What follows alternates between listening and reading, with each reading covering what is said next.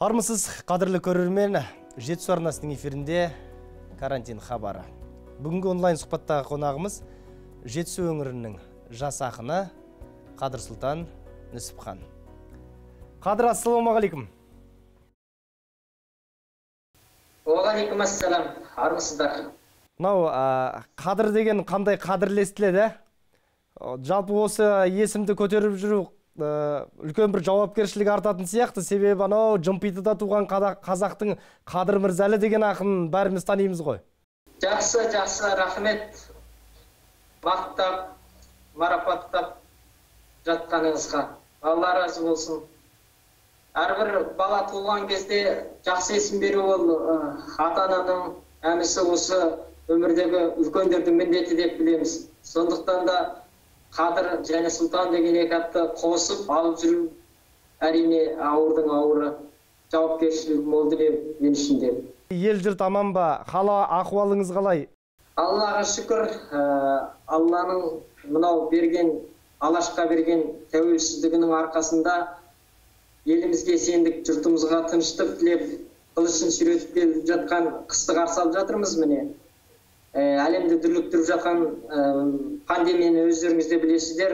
Ә, елге ауыр тиіп жатқан жоқ әрине. Десе де бір реткі толқынның бетін қайтардық сіздер болып біздер болып Ә, мынау екінші толқыны да міне ентелеп келе жатыр дейді Ә, бізде әрине алғашқы толқынын қалай қайтардық? Соңғы толқынын да солай бетін қайтарып өз ырықтылық орнымызды сақтай білеміз деген ойдамын. Жалпысы. Қазір ә, елдегі ағайын сақтық шарасын қалай жасап жатыр? Ә, болады бұйырса бірінші толқынында бастабында сенбеді жұртшылықтың көбі. Ә, со- сол артынан мынау ә, жанашыр жақындарымыз ә, өзіміздің араласып құраласып жүрген ағайын туыстардың басына осындай бір ә, дүниелер іліге бастаған кезде көздерін ашып қарады білді көздері жетті. Соның арқасында жаңағы ә, сақтық шараларын күшейте бастады. Оқшаулану жұмыстарын жүргізді маскілерін тағып ә, жаңағы айтылып жатқан бүкіл ә, заңнамалық ережелерге бойсұнды артыңызға қарасам қазақтың көк байрағы тұр. Қай жерде отырып бізбен сұхбаттасып жатырсыз? Қандай қызметтесіз өзіңіз мен алматы облысы алакөл ауданы ынталы ауылдық округі әкім аппаратында жастар саясатындамын. Осы 2014 жылы елбасының қолдауымен жастар саясатының ә, осы бас, ә, орталығы ашылған. Сол 2014 жылдан бері осы мекемеде ә, жұмыстар жасап келе жатырмыз. Аллаға шүкір жаман емес. Ә, жастар елдің болашағы дейді ғой елбасымыз. Сондықтан да ә, бүгінгі жастар елдің ертеңі болып өз шама шарқыларына қарай жұмыстар атқарып жатыр негізі. Ай бәрекелді. Мынау пандемия уақытында бірінші толқын кезінде жастар қалай жұмылып жұмыс жасады? Елге қандай көмек берді? Ә, сіздің өңірде бұл қалай жүзеге асты? Енді осы карантин бастала салысымен ә, шыны керек енді. Өзіміз елді жатқыздық та өзіміз ә, шауып жүрдік. Мынау әлгі науқастан коронавирусқа қарсы күрес мақсатында жүзеге асырылған ә, жалпыұлттық акция бар ғой әлгі біз біргеміз акциясы. Иә. Осы акция арасында біраз шаралар атқарылды. Біз мына аудан орталығынан ә, біздің атамтай жомарт азаматтарымыз бар. Сол кісілердің мынау халыққа таратқан көптеген ә, көмек материал материалдық көмектері болды. Соларды тараттық жаңағы ә, мобильді топ деп қойды мынау карантинге байланысты. Сондай бір ақпараттар жинау жаңағы материалдар тарату ә, сол іс шараларға көптеп қатыстық. Бұл енді ерікті тұрғыдан мысалы ә, азаматтық тұрғыдан еріктілер жылы болған соң өзіміздің азаматтығымызды және ә, ерікті ә, жаңағы өзіміздің қайырымдылық бауырмалдығымызды көрсеткіміз келді. Шыны керек бұның өзі барлығы енді ә, жанқияр жанашырларымыз үшін ә, отанымыз үшін биік азаматтық тұрғымен терең сүйіспеншілігіміздің ә, бір көрінісі деп өзім ойлаймын жалпысы. Және материалдық көмек жағынан қолымыздан келгенше ә, көмектесе білдік Ә, енді ә, барлық нәрсені ақын өзінің нәзік жүрегінен өткізеді деп айтылады. Ә, сіз бұл жағдайда шығармашылығыңыз тоқырап қалған жоқ па? Шығармашылық тоқтап қалған жоқ. Көп нәрсе енді мынау техникасы дамыған заман болғаннан кейін көп нәрсе жаңағы онлайн офлайн міне өзіміз де скайппен міне жақсы бір дүниелерді өткізіп жатырмыз. Сондықтан да ондай дүниелер енді қағыс қалып қалған жоқ. Барлық өтіп жатқан іс шараларға ә, қатысып ә, азаматтық тұрғыдан белсенділігімізді танытып отырдық. Бәрекелді ендеше иә онда сіздің мынау шығармашылығыңызға қарай өтейік. Сізбен бізді тамашалап отырған көрермендерімізге әуелі өзіңіздің мынау ә, кітабыңыздан білеміз жақында жарыққа шыққан. Содан бір ә, өлеңіңізді оқып берсеңіз содан кейін барып сұхбатымызды ары қарай жалғастырайық. Өлеңмен сусындай отырайық. Рахмет. Жинақтың шыққаны туралы біледі екенсіз жалпысы 2018 жылы жарыққа шыққан бұл кітап. Көңіл сыйы деп аталады негізі. Ә, сонымен қатар алматы облысы әкімі амандық ғапбасұлы ә, баталов мырзаның қолдауымен суретшілік тақырыбында көркем сурет альбомдары да жарыққа шыққан негізі. Мынау көңіл ол менің тұңғыш жинағым болған негізі. Бұл енді өзіңіз білесіз айдында айбынды өлкеміздің 90 жылдық мерекесі өтті. Сол кезде елбасымыз айтады ғой мен елден не алдым деп емес не алам деп емес мен елге не беремін деп қызмет қылыңдар дейді. Әмісі сол кезде мынау алаш байрағын аспандатқан айдынды ақша қаласы шулаған айбынды жұртшылығымызға не арнаймыз деген үлкен бір ой тұрды. Сол кезде жинағымды реттеп сол жаңа тоқсан жылдыққа тарту ретінде шығарған жинақ болған көңіл сыйы бес бөлімнен тұратын ол. Ә, енді соның ішінен бір үзінді бір өлең оқып берейін. Ал кеттік. Мөлтілдеп иә. Түлкінің қара ұлымын қор көзді сауыт киінген түлкінің қара ұлымын көк тәңірде сүйінген сипаған жел боп құлымын басымнан түспейді ұлығам зұлық барды қолға алдым бөрлігімді көр туымнан қолға туды қолға алдым жорықтарда жолаңсап иығына күннің асылдым Са- сайкез қолы құрамсақ кекпен серкке асылдым. Азуын білеп көксерегім таласты бір түлкіңірмен азаттық ет көксегенім түнді түрттім кірпігіммен. Жерге түспес жебедей тасқа да барып қадалдым. Үзембі бақты телегей дұшпандардан қаналдым кеудемнен менің итерме намысым ойнар найзағай елін сатқан иттерге сұқтанам түйрер найзадай. Тегіме сен қара менің жаралдым тау құрсағынан аңсаймын дала лебін бабамыздың күн сағынам. Көгінде қыран қалықтаған сынығы менмін асылдың қастағы тарих қанықмаған салмағы жатыр ғасырдың. Жүрсем де бір кез ақтабан арымды жауға сатпадым келсе де ажал қаптаған кебежеге сені сақтадым. Ешкімге бас имеген осып түсер қамшымын топырағын жердің илеген жалғыз қасқа тамшымын ешкіме тең келмеген оғлан батыр оғызбын толғайда толғай шерменен қорқыт тартқан қобызбын. Тіл мен дінді нықтанып сөктім өмір тұңғиығын. Дін емес сосын құттарып сүйдім алла нұр биігін түркінің қара ұлымын түркінің ғана ұлымын. Ай бәрекелді. Туған өлке өскен орта жайлы әңгіме ә, қозғайық. Сіз ә, атамекенді аңсап келген біздің қандас бауырымыздың бірісіз ә, жалпы енді мынау алдымызда тәуелсіздік мерекесі келе жатыр. Ә, сол туып өскен өңіріңіз жайлы одан кейін бері қарай атамекенге өткен жылдардан ә, бір естелік айта отырыңыз көрермендеріміз үшін.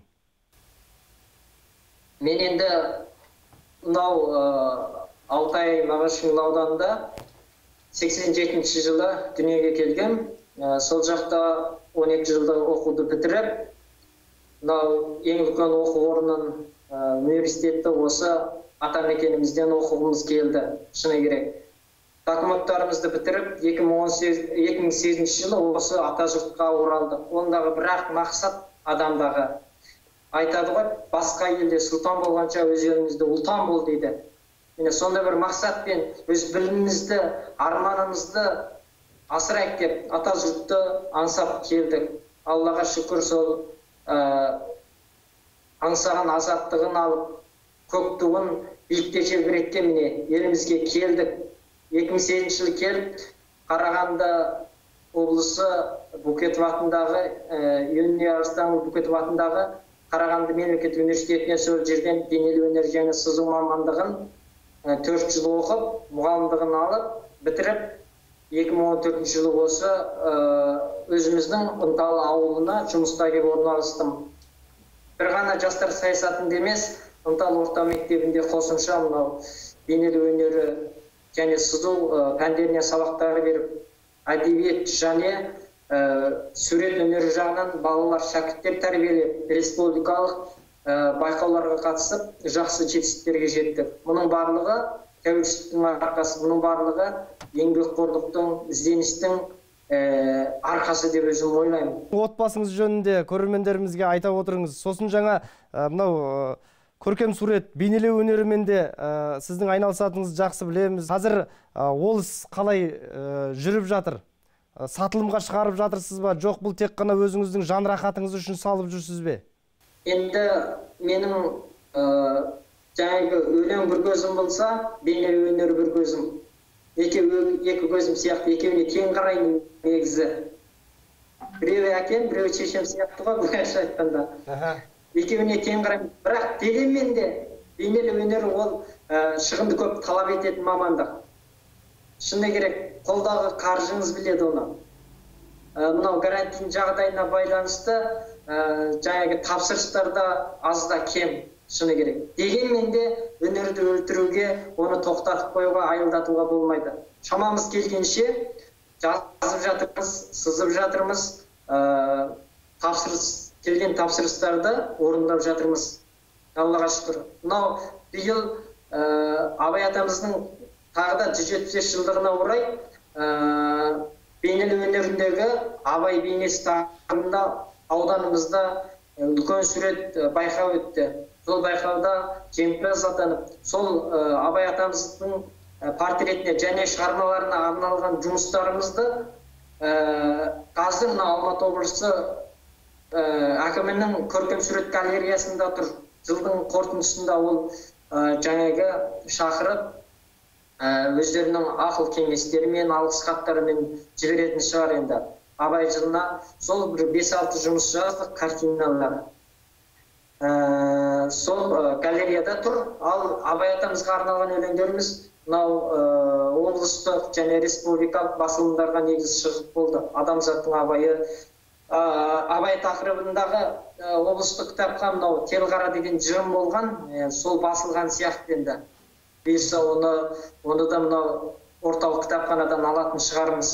Ал енді жаңағы сурет көркем сурет абай тақырыбында қанша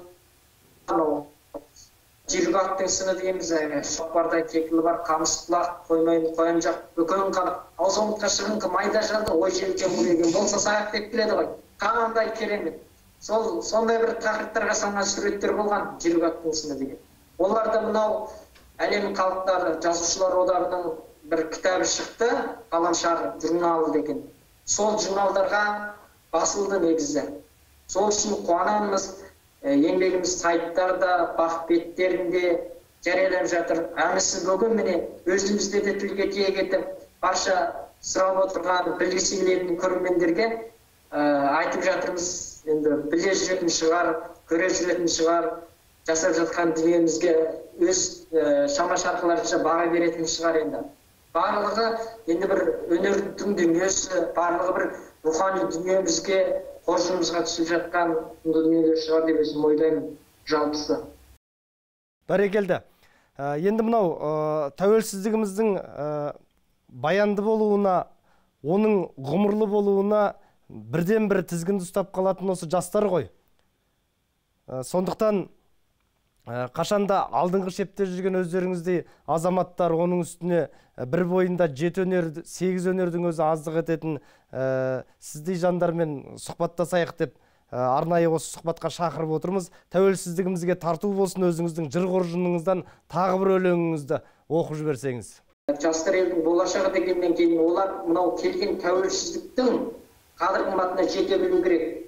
Өйткені бұл ә, бабаларымыздың сан ғасырлар бойы аңсап жаңағы айтады ғой анамыздың жасымен бабаларымыздың қанымен ақ білектің күшімен ақ найзаның ұшымен дейді. Тіпті беріксін айтқанда мынау желтоқсандағы батыл ержүрек жандардың ә, терең рухымен асқақ рухымен бастаумен келген дүние. Сондықтан елбасымыз айтады мына тәуелсіздікке қол жеткізін жеткіздік. Енді оны ұстап тұру қиынның қиыны дейді. Сондықтан тәуелсіздіктің қадір қымбатына жетіп оны жырлап оны түсініп оны ұстап тұру сіз бен біздің ол міндетіміз аманатымыз. Сондықтан енді мен мынау былтыр жазған ә, тәуелсіздікке арнаған бір өлеңім болған соны оқып берейін онда. Тәуелсіздік. Тәуелсіздік. Шыбындай ғана жанымсың тәуелсіздік жүректе от жалынсың. Тәуелсіздік ең кіршіксіз арымсың тәуелсіздік батпандай ауыр бағымсың. Тәуелсіздік мақтанар қымбат барымсың. Тәуелсіздік алтын нұрлы күнімсің. Тәуелсіздік қырғалдақ мінез гүлімсің. Тәуелсіздік жұлдыз жұлдыз жұпар түнімсің тәуелсіздік төгілер гүлзар үнімсің тәуелсіздік алмас семсер тілімсің. Тәуелсіздік менің көксер дінімсің. Тәуелсіздік аязды тілген шуақсың. Тәуелсіздік түнекті түрген шырақсың тәуелсіздік қырашығымдай салтымсың. Тәуелсіздік тұмарымдай алтынсың. Тәуелсіздік өмірім сен деп сарқылсын. Тәуелсізбін мен бүгін әлемге мәшһүр қазағым. Уығын қадап елімнің ерлігін ардан қазамын. Лағылдан теріп беремін сұлудан жыр жазамын. Ібілістерге іріткі беремін зұлымдарға соққы жазамын. Достарға адал еремін ісіне қалқым тазамын көзіне ғарыш енемін. Ісіне қалқым тазамын көзіне ғарыш енемін.